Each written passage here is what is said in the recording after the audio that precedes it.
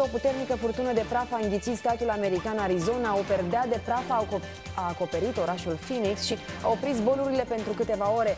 Furtuna a doborât linii de înaltă tensiune și a lăsat locuitorii orașului american în beznă.